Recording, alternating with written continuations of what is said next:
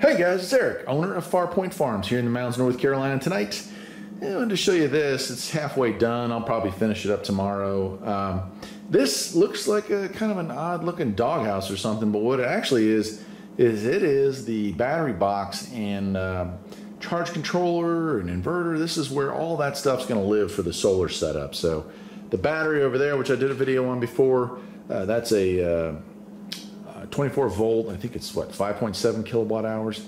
So I'm going to put two of them in here eventually, but I'll get a little closer here and show you. So my idea here is there'll be one here for right now, and then eventually I'll put another one there. They're going to get linked to this back wall here. We'll have the charge controller and the inverter box there, and this front right here that'll be the door. So um, that'll be the whole thing. The whole thing is, you know, got a nice slanted roof on there. I've got some leftover material I'm putting on there. And that is uh, going to slide up underneath the array. So the array is built and up, and I've just been trying to get this done. So I'm going to be putting exterior paneling on that, interior paneling on the inside, and in between, I've got some leftover insulation from another job. And uh, that's the idea. I am worried, and perhaps some of you folks out there who are uh, you know more savvy about this stuff than me could help me out. I know that uh, lithium ion, these LiFePO or whatever they're called, are not supposed to be charged below freezing, and I'm trying to figure out how exactly to deal with that since we spend a good third of the year below freezing. I have no way of heating this box, so I don't know what to do about that. So I love your advice there. If you have it for me, help me out with that. Uh, this is the inverter box that I picked up for Pure Sine Wave. It's a 2000 watt regular uh, 4000 watt surge, enough to run a microwave if necessary, but uh, really 2000 watts. I don't know. That's about all I really want to run off of this system. And then over here we have our charge controller. This is a 60 amp charge controller. It's capable of holding uh, 1800 watts and the system I built is uh, was going to be 16 but it ended up being 1200 watts for right now. And of course I'm going to you know double this every couple of years as money comes available.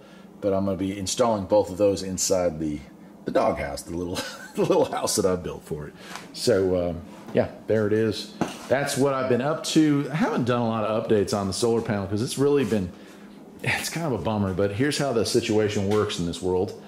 Um, you know, I want to be able to get this thing done in a weekend and get it all up and running. But with other things going on in life, you know, with, with the spring and summer here, it's now summertime, and having to deal with farming and animals. And, uh, you know, I do still work part time on top of having my own business.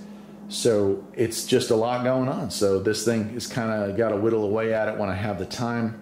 But I have been working. Uh, getting the paneling up was a big deal and getting it all wired up properly. So we're ready there. So it's it's time. I would say before the end of July, I'll be finally banking power. And I think we started this mess in April. So that is, and I actually had 99 or 95% of the stuff I needed to make this happen in April.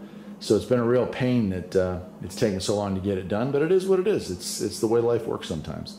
Anyway, that's it for part, I think three, four, part four of the solar update. I would say part five will be fully assembled, and uh, part six will do some tests, you know, power output tests, stuff like that. So if you like this video, perhaps you'll think about liking and subscribing. And I'll see you next time. Take care.